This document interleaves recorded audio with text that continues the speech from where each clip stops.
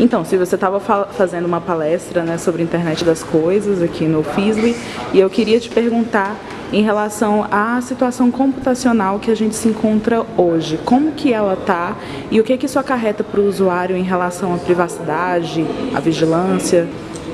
O grande problema hoje na comunicação na, principalmente na comunicação pela internet é que supostamente a gente usa serviços de graça, mas esses serviços não são de graça. A gente paga com a nossa privacidade, a gente paga com a nossa comunicação. Ou seja, esses, todo esse modelo de negócio é baseado na espionagem. A gente não tem controle com que isso, o que é feito dessa espionagem. Por exemplo, ah, a gente pode chegar numa situação futura na qual a gente tente comprar um plano de saúde e uh, com base na nossa comunicação anterior que já foi espionada, aquela empresa, uma determinada empresa, operadora de plano de saúde, deu um preço diferenciado porque a gente tem algum histórico de doença, alguma coisa do tipo que uh, a gente não quis necessariamente divulgar.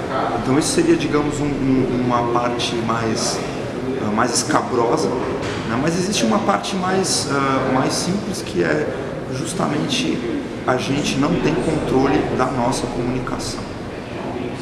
Uhum. E você falou muito em relação à soberania computacional, né? Explica para a gente um pouquinho o que, que seria isso em relação ao software livre. Soberania é você ter controle e autonomia para definir o seu destino. Soberania computacional seria justamente a gente transpor para o digital essa capacidade. Então não adianta você ter um dispositivo ter um telefone celular, ter um computador ou usar a internet, se você não tem capacidade de uh, um controle efetivo do seu dispositivo, se você não consegue modificá-lo, se você não consegue atualizá-lo indefinidamente. E uh, hoje a tecnologia ela é fechada em modelos baseados, por exemplo, na obsolescência programada.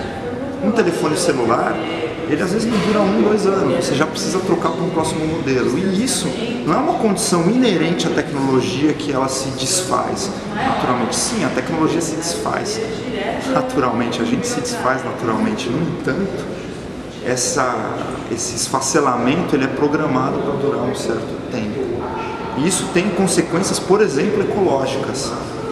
Isso tem consequências, por exemplo, da capacidade de um país ou de um uma cidade ou de um grupo social de produzir uma tecnologia que seja uh, e passo com uma tecnologia feita no estrangeiro, por exemplo. Então a soberania computacional ela tem um lado do controle do que a gente tem e por um lado do controle do nosso processo, por onde a gente quer chegar. Nós dependemos hoje, em termos de Brasil, de equipamentos produzidos no exterior uh, e isso evidentemente uh, encarece uh, todo, todo, todo nossa, toda a nossa vida e nós somos eh, efetivamente impedidos de produzir a nossa própria tecnologia no mesmo nível que a tecnologia internacional por conta de patentes, por conta de segredos industriais uh, e por conta de grandes interesses. Então, por um lado, a gente tem o um problema da, da espionagem, que ela poderia ser uh, minimizada com uh, produtos manufaturados localmente, por outro lado, a gente não consegue produzir esses produtos e não é por falta de conhecimento. No Brasil a gente tem capacidade técnica, a gente tem conhecimento, a gente tem cientistas, engenheiros e engenheiras com toda a capacidade de produzir isso. A gente não tem hoje condição para levar isso a cabo. Por exemplo, no Brasil a gente não tem uma fábrica de microprocessadores. E isso é básico. Como é que a gente vai pular para a era da informação se a gente não tem um tijolo básico a informação no nosso poder. Uhum. É, só para a gente fechar, é, queria perguntar em relação à privacidade das pessoas. Hoje, uma pessoa que esteja preocupada com o que ela está compartilhando ali no e-mail dela ou pelo celular mesmo, o que, é que você recomendaria que essa pessoa pode fazer para tentar, de repente, diminuir um pouco dessa exposição que ela tem na, no, no espectro computacional? Uh eu acho que uma coisa que ela pode tentar fazer é usar software livre. É, não é difícil, não dói, está muito fácil, existe uma grande comunidade disposta a ajudar as pessoas a utilizar o software livre. A segunda coisa é não ter medo da espionagem e da vigilância. Ela está aí, não, não, são apenas as, as grandes agências internacionais de vigilância que uh, realizam a coleta de dados indiscriminada. Isso pode ser, por exemplo, uh, um, um seu chefe no trabalho pode querer instalar alguma coisa, te espionar. Né? Porém, a gente tem, se a gente não tem apenas a tecnologia, a gente também tem a lei.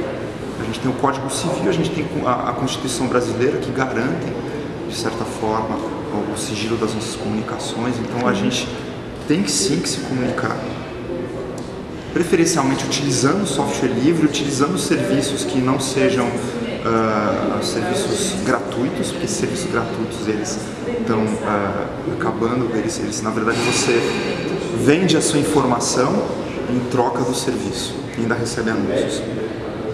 Se você puder pagar um e-mail, por exemplo, uma conta de e-mail, pagar uma conta muito barata de e-mail, você já está saindo um pouco desse regime. Porque primeiro você virou cliente, você já está sendo é, protegido pelo Código do Consumidor, digamos, com uma, uma força maior.